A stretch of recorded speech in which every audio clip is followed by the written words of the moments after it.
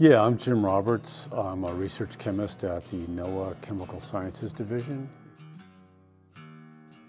Uh, what's happening today at the fire lab is we're unloading equipment and setting up for uh, the fire experiments to start looking at the emissions and, uh, and the processing. Wildfires are really one of the larger remaining issues for air quality in the U.S. Wildfire emits things that are climate active, uh, black carbon and CO2. And uh, it's pretty clear that in certain areas, especially in the western U.S., uh, it's getting warmer and drier, and we have a higher incidence of wildfire.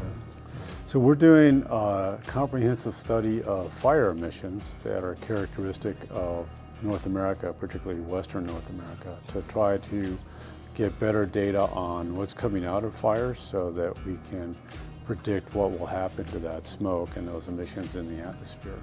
Uh, so it's really quite an extensive set of experiments. I'd say the most extensive that's ever been fielded on a, on a project of this kind.